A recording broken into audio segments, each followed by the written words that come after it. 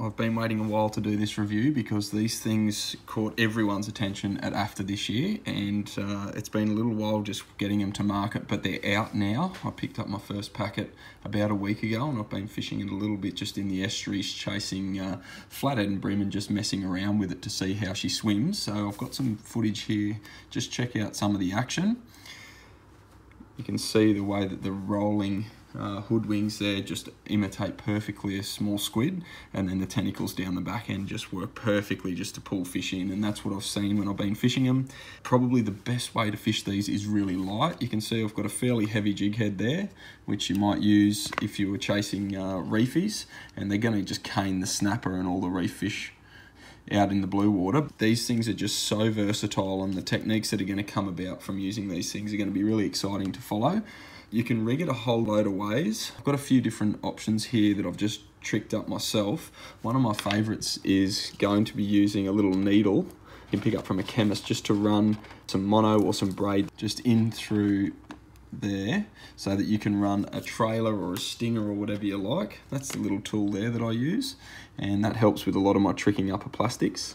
You can also run them weedless and that's how I got the most action just running it like that with a weighted weedless rig and then you can throw it in and around all your little weedy edges where you're going to find squid in the shallows.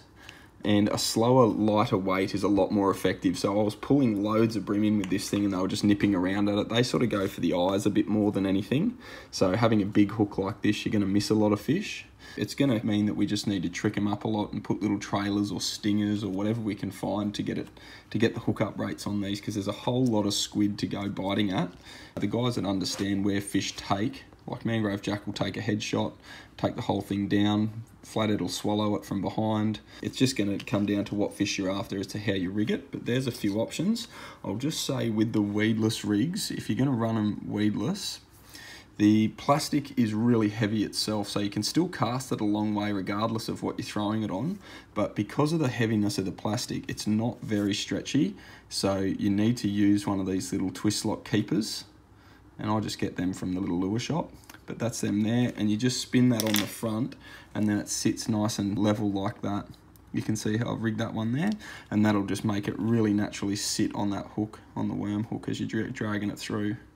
You can see the little fluttering arms on it and they just roll perfectly through the water. They're just so seductive to watch and then the 3d holographic eye there is just amazing. It picks up natural light brilliantly they're fantastic to uh, to watch. I think probably the only downfall, and everyone who's started to grab these things has picked it up, is that the heavy plastic is just fairly teary compared to you know the 10x style of baits that are out. So that's the only thing that I think in time they're going to have to refine or work on.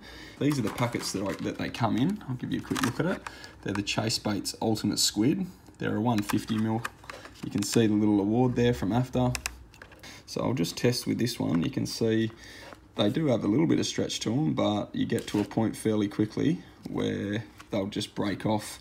I think when you're throwing around for reefies or if bream are nipping at this and that sort of thing, you can just see that, oh, maybe you'll be able to pick this up, that the plastic is fairly soft and it starts to just get little little wear holes in it as things pick at it.